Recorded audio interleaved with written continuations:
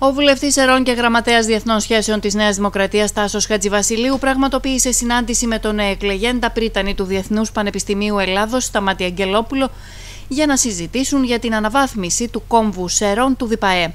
Ο Σεραίο βουλευτής συζήτησε με τον Πρίτανη για την πρωτοβουλία που ανέλαβε το προηγούμενο διάστημα για τη σύσταση του Εργαστηρίου Καινοτομίας για Γυναίκες, του οποίου η λειτουργία επίκειται.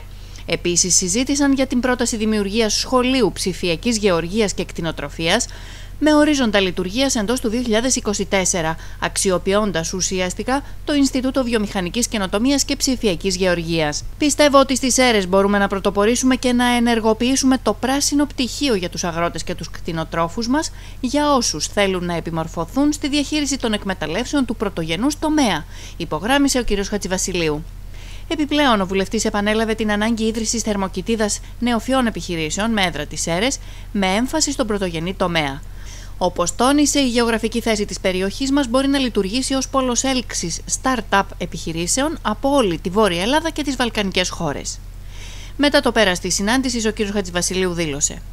Η ανάπτυξη του ΔΠΑΕ στι αίρε σημαίνει ανάπτυξη για τον τόπο μας. Επισκέφθηκα τον εκλεγέντα πρίτανη του Ιδρύματος Σταμάτη Αγγελόπουλο, ο οποίος αναλαμβάνει καθήκοντα τις επόμενες εβδομάδες. Συζητήσαμε αναλυτικά για τις πρωτοβουλίες που έχω από καιρό αναλάβει. Ο κύριος Αγγελόπουλος είναι ένας ακαδημαϊκός με ικανότητες, όρεξη και κυρίως όραμα.